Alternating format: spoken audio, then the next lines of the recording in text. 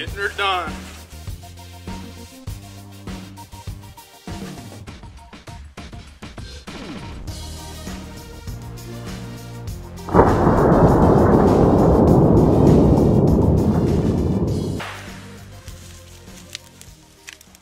Well, today is uh, May 7th, and Kaylee and I had a heck of a good morning.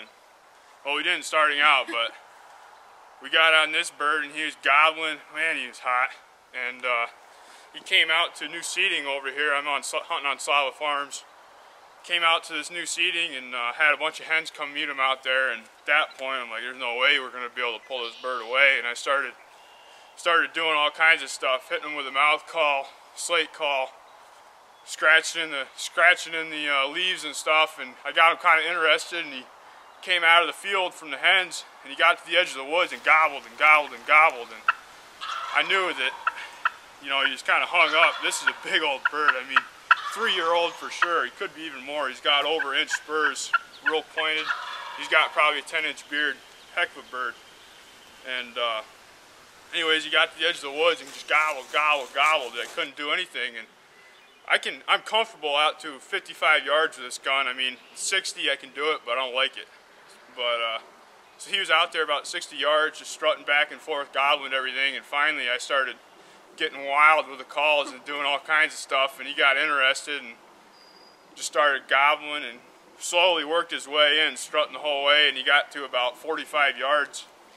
And uh, I was hiding behind this tree, and I heard him putt. And I'm like, oh no.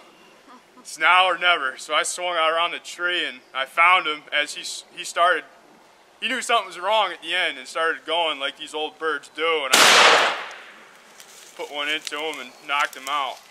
So uh, had Kaylee here behind the camera with me.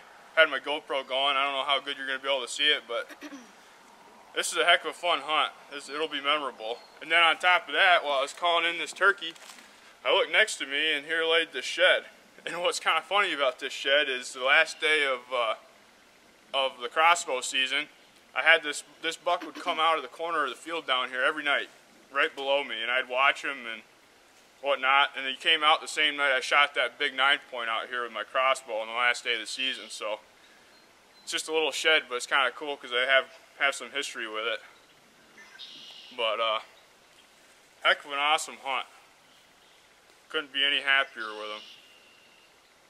What do you think, babe? That was exciting. Well, now it's Kaylee's turn back in New York. We'll have to see if we can go get on another one.